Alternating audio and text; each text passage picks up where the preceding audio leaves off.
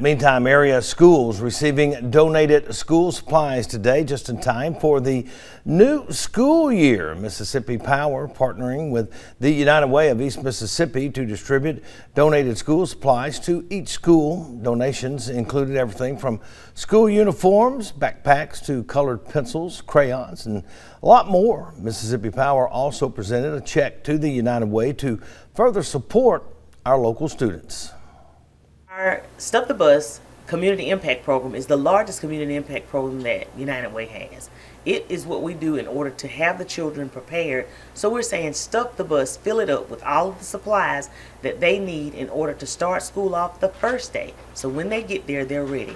We have to say thank you to our awesome community for coming together, donating, sponsoring. They gave monetary donations as well as so many supplies. We doubled and tripled in every single county that we serve, and it's making such a huge difference. Mississippi Power, thank you. They come every single year and they collect all the supplies and make sure that they're delivered to every single county that we serve. All supplies uh, are being delivered today.